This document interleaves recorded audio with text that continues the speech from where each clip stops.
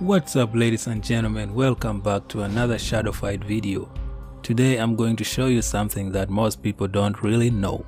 If you're new to the channel, make sure you smash that subscribe button and join the crew. In chapter 6, you'll be required to fight like Marcus, Galen and Bolo. And before you fight these characters, make sure you go back to your equipment and change the specific perks and abilities that you would like to use. I personally did not know that, but I figured it out later and I'm sharing it with you right now. Go back to your equipment and change the perks and abilities. Equip the best perks that you like and the match will be very easy. In order for this to work, you need to have all the equipments that those bosses are using. If you somehow don't have them, then I guess you're out of luck. I've been getting a lot of questions about this new store that I'm having. All I can tell you is that Nekki gave this store to people randomly. I think they are still testing it out. I don't really like this new store because it's not fun. I miss the old one. If I had the option, I would change it right away.